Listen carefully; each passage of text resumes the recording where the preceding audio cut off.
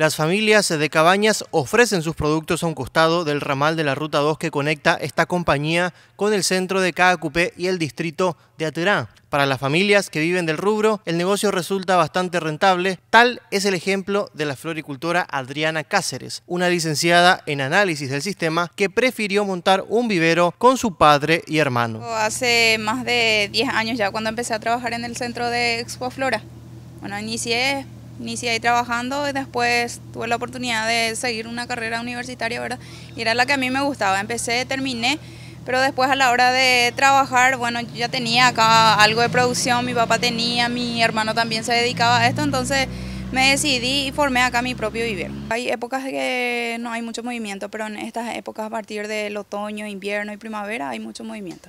Y aproximamos así más o menos es un 500 mil así diario. Todo tipo de gente suele venir, desde revendedores hasta clientes finales así que llevan sus plantas para vender, para adornar sus, sus casas. Se venden todo tipo de plantas, desde frutales, pero lo que la gente más quiere son las plantas así con flores. La Asociación de Floricultores de Cordillera ofrece en el centro Expoflora los productos de sus agremiados. El lugar fue construido por el gobierno de Taiwán y recientemente cumplió 17 años. Veníamos de Atuna, entonces no, nos llamó la atención y por eso llegamos aquí. Y estamos viendo que son muy baratos.